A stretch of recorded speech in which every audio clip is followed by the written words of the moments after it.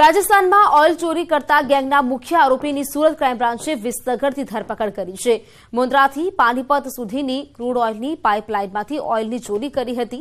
આરોપી એનુલહક મુર્તઝાની પૂછપરછ કરતા તેઓ કિવરલી પાસેની પાઇપલાઇનમાં વાલ ફિટ કરી ઓઇલની ચોરી કરતા હોવાનું સામે આવ્યું. સુરત પોલીસે આરોપીને રાજસ્થાન પોલીસને સોંપ્યો. પીએસઆઈ ડોડિયા અને એમની ટીમને એક સ્પષ્ટ અને ચોક્કસ બાતમી મળે છે. અને એના વેરઅબાઉટ્સ વિસનગર ખાતે મળતા એમને તાત્કાલિક ટીમ ત્યાં જઈ અને વિસનગરથી એને પકડી પાડવામાં આવે છે.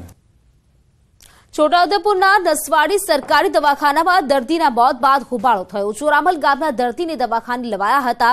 દર્દીના સગાઓનો આક્ષેપ છે કે દર્દીને લવાયા ત્યારે ડોક્ટર હાજર ન હતા અને બે કલાક બાદ ડોક્ટર તો આવ્યા, પરંતુ વૃદ્ધનું મોત થઈ ગયું હતું. તબીબોની બેદરકારીથી મોત થયું હોવાનું પરિવારજનોએ આક્ષેપ કર્યો છે. આ અંગે ખુદ તબીબે પણ દવાખાને હાજર ન હોવાનું સ્વીકાર્યું હતું.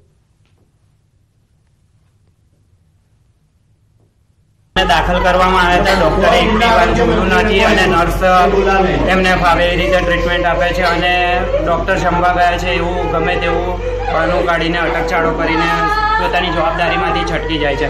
આજે માણસ જીવ વહાલો છે કે એને જમવાનું એ એને ખ્યાલ નથી.